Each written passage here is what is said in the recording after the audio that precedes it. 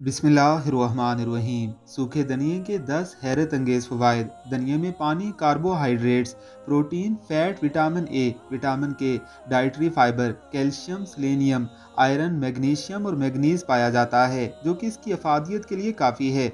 जिन लोगों का दिल घबराता हो, बेचैनी रहती हो, वो लोग सूखे धनिए का इस्तेमाल ज़्यादा करें। इसके इस्तेमाल से दिल मज़बूत होता है। सूखे धनिए के कहवे के कुछ दिनों के इस्तेमाल से बढ़ा हुआ कोलेस्ट्रॉल लेवल पर आ जाएगा। सूखे धनिए का पानी पीने से मैदे के मिसाइल हल हो जाते हैं। जिन लोगों के हारमोन्स खराब हो चुके हों बिगड़ चुके हों, सूखे धनिए के इस्तेमाल से अफाका होगा। किसी भी किस्म की पचीदा सूरत हाल से बच जाएँगे।